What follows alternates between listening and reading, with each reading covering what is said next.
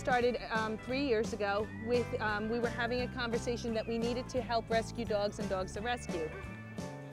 We were trying to find ways to do something unique during the fall season, so we came up with the K9 costume party.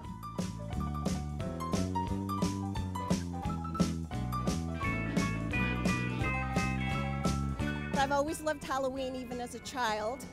And I wanted to give that to my little puppy, and she loves it too.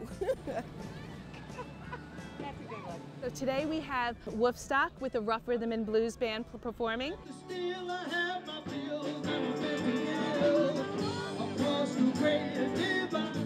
And we have um, the Dog Session Corner where owners and their canines can be groomed.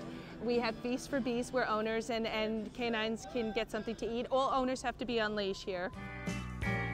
We have lots of rides to play on. We have some demonstrations coming up from the Sheriff's Association, various police groups that are bringing their rescue dogs to, to show people what their rescue dogs can do.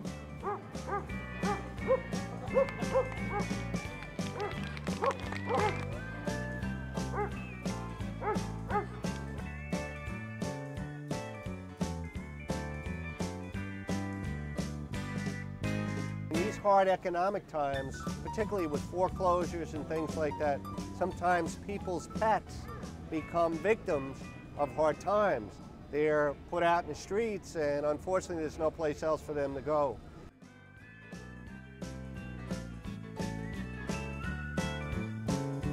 There's so much um, difficulty in life. It's, it's a little bit of time where people can enjoy themselves. Like, fix my costume! And see the canines and watch the canines. It's just an absolutely wonderful, you know, it, it's a time to escape and have a good time.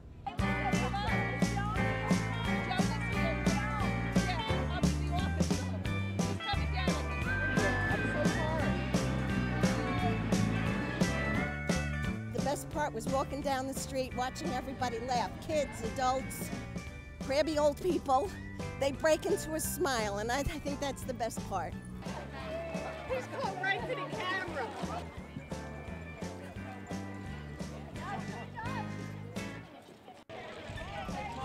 Animals and, and canines are wonderful things and they're a blessing in our lives. Right, man? Right? Say yes.